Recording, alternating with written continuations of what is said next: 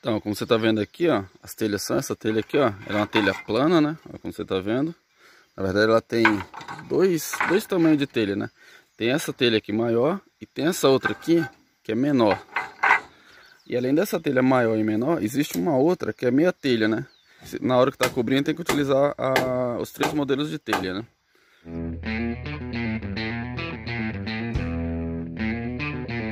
Olha pessoal, olhando aqui de cima, como que fica, né? A zipa fica bem, bem encostada uma da outra, né? Vou mostrar pra você aqui a galga. Olha pra você ver.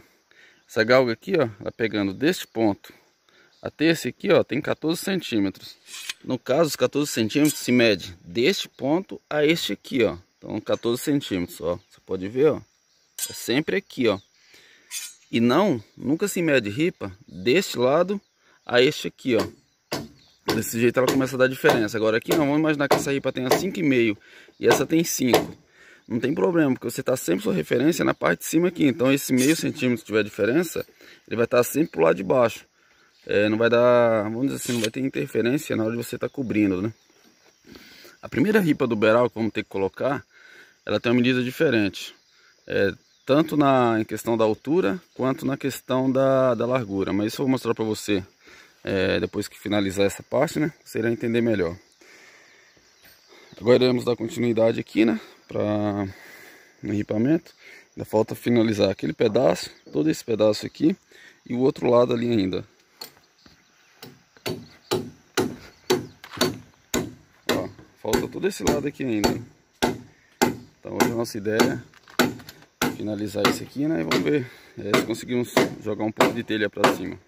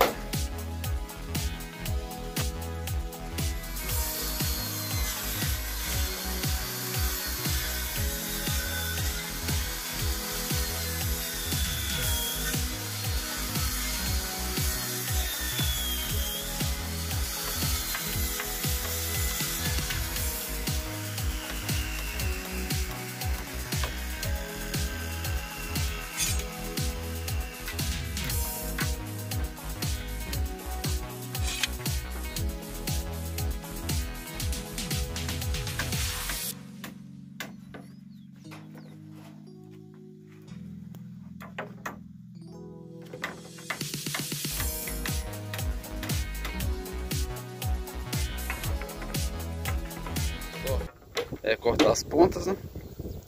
É, tanto daquele lado quanto desse aqui, né? E a ponta dos caibros, né? É, vou mostrar para você um detalhe ali no beral, né? É, e uma solução que tivemos que arrumar é, aqui na obra. E no final gostaria de saber qual a sua opinião. Olha esse lado aqui também. É, está em andamento, né? Quase finalizado também. Bom, vou mostrar para você o detalhe que eu, mencionei ali embaixo. Bom, como eu já mencionei é, no início do vídeo, essa galga aqui, ó, deste ponto até esse aqui, tem exatamente 14 centímetros, né? Porque esse tipo de telha aqui, ó, que será usado, é, essa é a medida que o fabricante pede, né? Eu vou mostrar para você, só para você entender. Então ali para você ver, ó, você pode ver aqui, ó, 14 centímetros, né? Vou tentar aproximar aqui, ó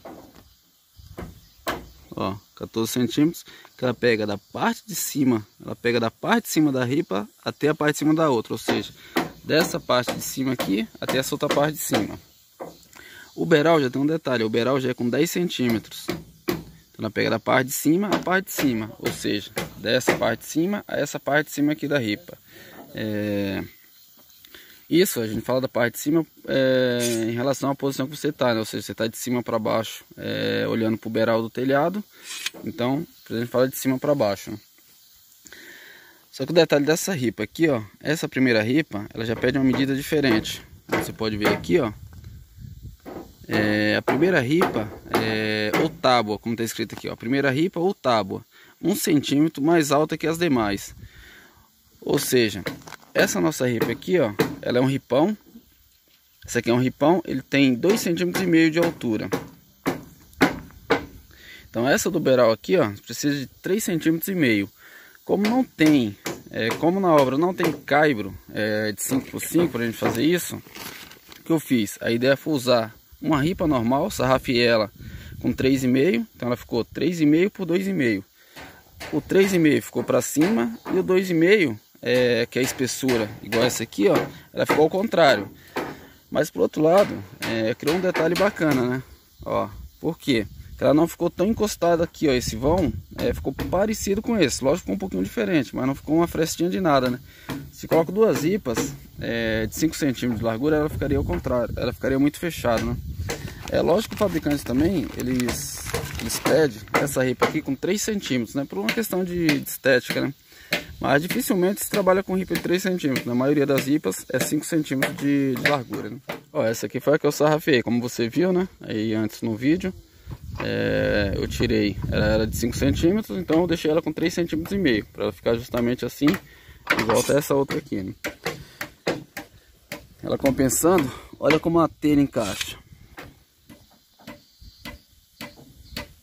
Agora se ela está a mesma altura, olha só o que já acontece começar com aqui do início. Eu vou colocar aqui só para você ver, quando ela não tem esse um centímetro para compensar. Então olha porque é importante. É, essa última ripa aqui, ó, ela tem um centímetro mais alta que as demais.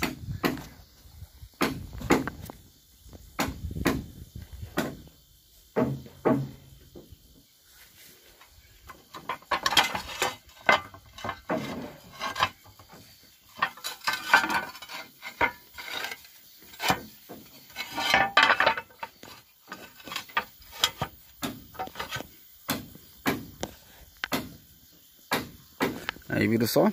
Então por isso é muito importante, né? Agora eu gostaria de saber qual a sua opinião a respeito a essa ripa aqui que eu sarrafei e deixei com 3,5 cm. É, como que você faria? Faria dessa mesma maneira? Ou tiraria um centímetro em uma outra ripa e dobraria em cima dessa aqui de 2,5? E acabamos aqui de, de, fazer a fixação das ripas, né?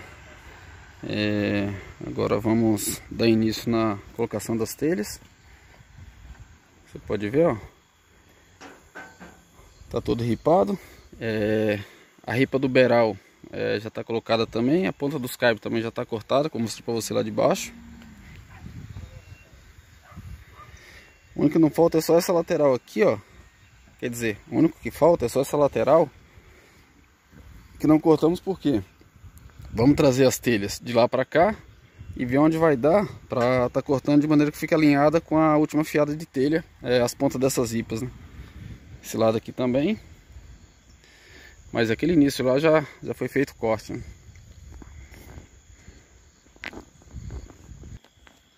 Olha esse lado do beiral tá cortado. Só para você o outro lado. Vou até mostrar aqui a parte de baixo também como ficou.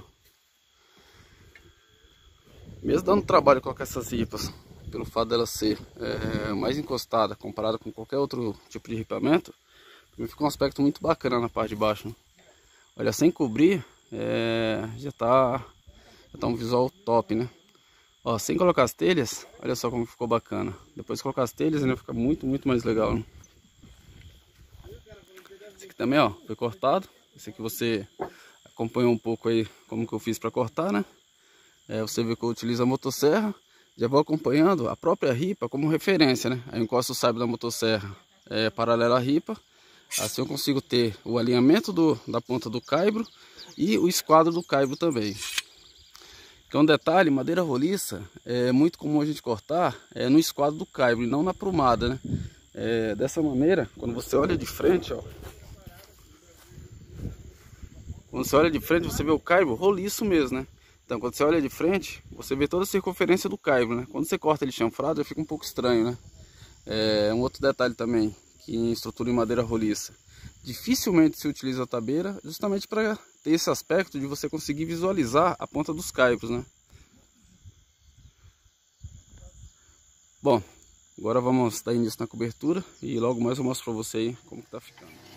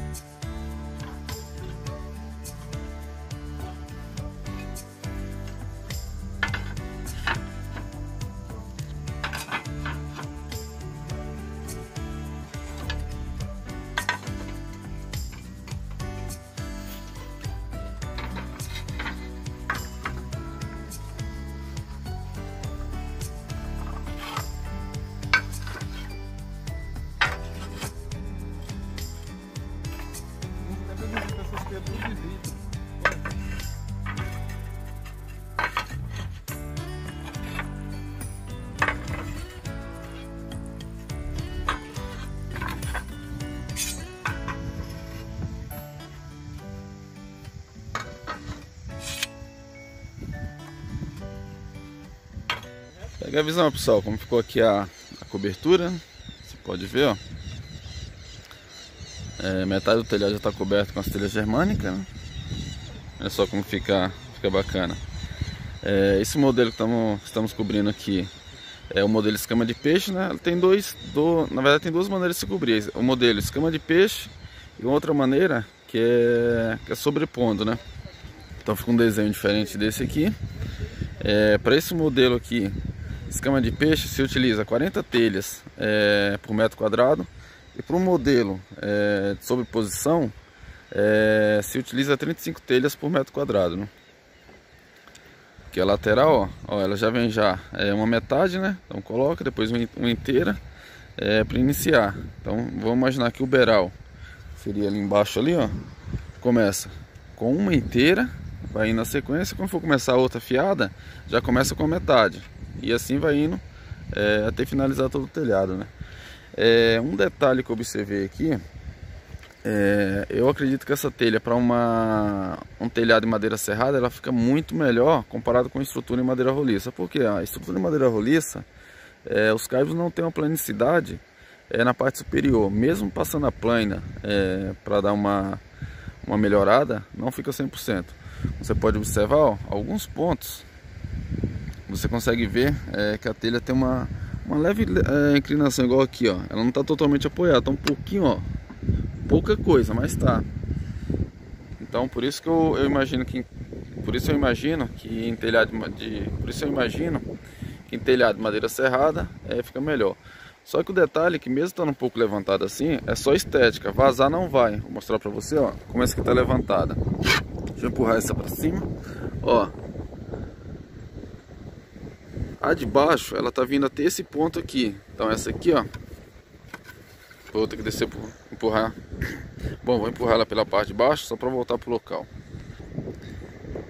Tá ali, ela é, voltou e acaba cobrindo a telha de baixo. Então por isso que ela sobrepõe. vou explicar para você como que é a sobreposição para você entender. É... Aqui cai nessa aqui, ó. Aqui vem, cai dessa aqui, ela cai na fresta das duas. Quando ela cai na fresta das duas, automaticamente ela já cai na, na telha que está embaixo que ela tem a sobreposição. Essa telha sobrepõe a essa aqui, ó. Então dessa maneira não vaza. E como ele tem esses frisos aqui, ó, toda a água que cai aqui, ó, ela não tem como vir para lateral, ou seja, para cair nessa outra fresta aqui, né? Ela acaba escorrendo nesse friso aqui e já cai na telha de baixo, né? Por isso esse tipo de telha não tem vazamento e não há necessidade de colocar a tira de manta igual coloca em talbilha, né? Bom, como você pode ver, aquele lado ainda não foi coberto, né? É... Ontem à tarde não conseguimos finalizar a cobertura dele. Com isso eu encerro esse vídeo. Como eu sempre falo, né? Continue pegando a visão, tem muita coisa para vocês ver por aqui. Valeu e até o próximo vídeo.